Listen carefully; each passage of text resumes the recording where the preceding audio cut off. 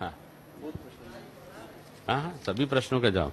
एक माता है, उम्र पैंसठ है। बीस साल से नींद नहीं आती है, नींद की गोली खाती है, उपाय बताइए। बहुत सरल बात है।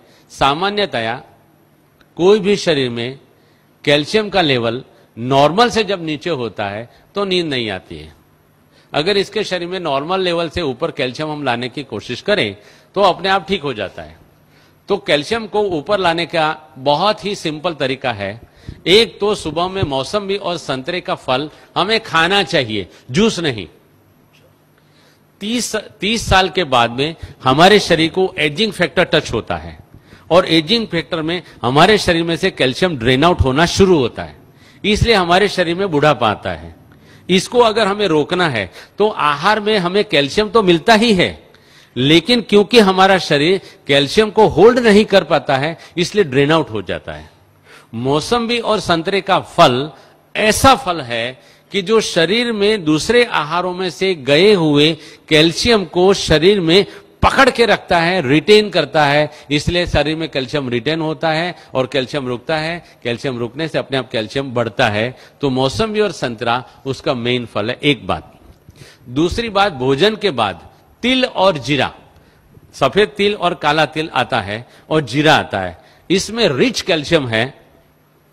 और भोजन के बाद हम एक एक चम, एक एक चम्मच तिल और जीरा रोज़ाना अगर नियम से खाते हैं तो आपको कहाँ भी कैल्शियम ढूँढने जाने की ज़रूरत नहीं है।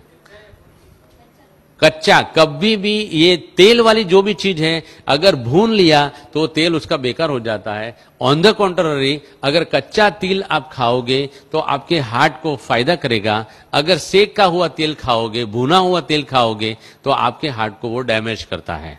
तो तिल और जीरा भोजन के बाद खाना है। यहाँ ही हमारे लगभग शांतिवन या पांडव भवन से एक भाई साहब मेरे पास आए थे। उनकी 72 इयर्स की उम्र थी। वो मुझे मिलने आए थे और आकर के मुझे नमस्ते किया था। डॉक्टर साहब, आप रियल में डॉक्टर साहब हो। मैंने बोला, क्या बात है भाई साहब? उनका नाम मैं सच्ची में भूल गया हूँ।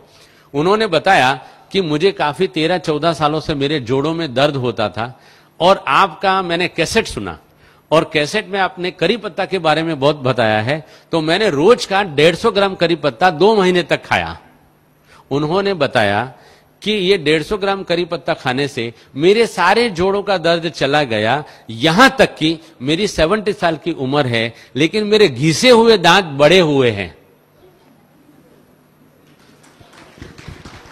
सत्तर साल की उम्र में घिसे हुए दांत बड़े होना, माना कि कैल्शियम एडमिनिस्ट्रेशन ठीक होना, माना कि मेरा जो पॉइंट है, लाइव कैल्शियम खाएँगे तो शरीर में एब्जॉर्ब होता है। दूसरा एक बेसिक साइंटिफिक पॉइंट है। हम सुबह में 10 बजे से पहले और शाम को 5 बजे के बाद 20 से 25 मिनट अगर धूप में बैठते हैं तो धूप में बैठने से हमारी पैराथायरॉयड ग्लैंड एक्टिव होती है। और पैराथायरॉयड ग्लैंड जो हार्मोन शरीर में पैदा करती है और छोड़ती है, उन्हीं हार्मोन से हमारे शरीर में विटामिन डी जनरेट होता है। विटामिन डी जो जनरेट होता है अगर हम रोज़ाना हमारे आहार में सिलिकॉन, माना काकड़ी का तत्व डालते हैं तो विटामिन डी और सिलिकॉन के मिश्रण से कैल्शियम सेल जनरेट होकर के हमारे बोन में कैल्शियम आ जाता है। इसलिए सुबह धूप में और शाम को 20 मिनट धूप में बैठना चाहिए। इसके सिवाय ड्रम स्टिक सरगवा के सिंग जो बोलते हैं, उसमें भी काफ़ी मात्रा में कैल्शियम है। फूल गोभी के पत्तों में काफ़ी मात्रा में कैल्शियम है। हर एक पत्तों में कैल्शियम बहुत मात्रा में है। इनको जैसे जैसे मैंने ढंग से समझाया, उस तरीके से खा सकते हैं। यहाँ भी अगर कैल्शियम का प्रॉब्लम है तो काफ़ी मात्रा में हमारे पास करी पत्ता पैदा होता है। करी पत्ता की चटनी बना के, आटे में गोंद के अगर उसकी रोटी बना के सबको अगर दी जाए तो कैल्शियम का प्रॉब्लम अपने आप सॉल्व हो जाता है। फूल गोभी के पत्ते सिंग पत्ता नहीं सिंग पत्ता कड़वा होता है। कड़वा कोई भी चीज़ शरीर में आर्थराइटिस क्रिएट करता है।